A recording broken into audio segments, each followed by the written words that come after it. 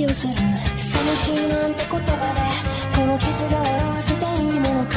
そんな意地ばかり抱え今日も一人ベッドに眠る少年だった僕たちはいつか青年に変わってゆく年老いていつか枯れ葉のように誰にも知られず朽ちてゆく。不死身の体を手に入れて一生死な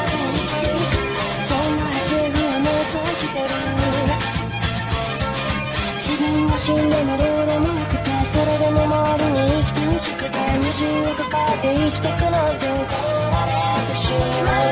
正しいものは正しくいなさい。死にたくないなら生きていなさい。悲しくなるならそれでもいいならずっと一人ではないよ。僕ら